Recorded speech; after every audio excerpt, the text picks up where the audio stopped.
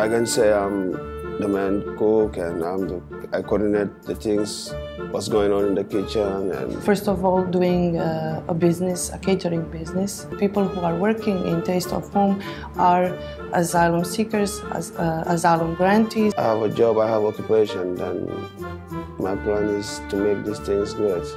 First thing I learned from Sadou was uh, the love that you share through food. They do it with a lot of love. They put all this positive energy in this food, and maybe the best way to break this fear of refugees. If you meet them in person, then you can create your own opinion, which is more realistic than what you hear in the TV, in the news, and the other media. I'm a human being, I feel hurt, I feel pain, I feel everything. But I took it with my spirit, with my everything, I took it and make it positively for my own strength, for my own use.